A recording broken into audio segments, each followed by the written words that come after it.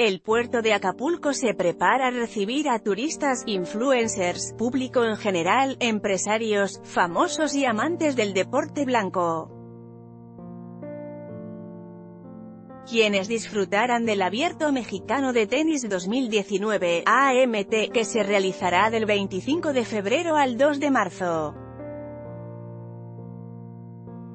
En su tradicional sede, el Hotel Princess Mundo Imperial. Entre los jugadores top que se enfrentarán en el torneo, figuran los nombres de Rafael Nadal quien se presenta por tercera ocasión, Alexander Zverev, Kevin Anderson, David Ferrer y John Isner. En lo que respecta del cuadro femenil, se confirmó a Sloane Stephens, Donna Becky, Joanna Conta, Sai Saisem, Jenny Bouchard.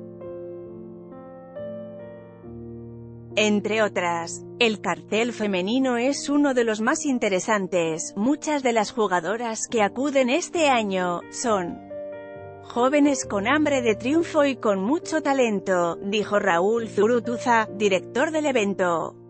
Añadió que después de anunciar en octubre la primera parte de los jugadores, no desistieron en crear un cartel único y llamativo, nos trazamos como meta lograr este cartel para poder ofrecer al público con los mejores tenistas del mundo y traerlos al bello puerto de Acapulco. Entre las novedades de esta edición, destaca la primera edición de la carrera Tennis Run, que contará con tres distancias, 3K, 5K y 10K, en las categorías infantil y adulto, realizada en colaboración con Emoción Deportiva y con la que iniciará el AMT.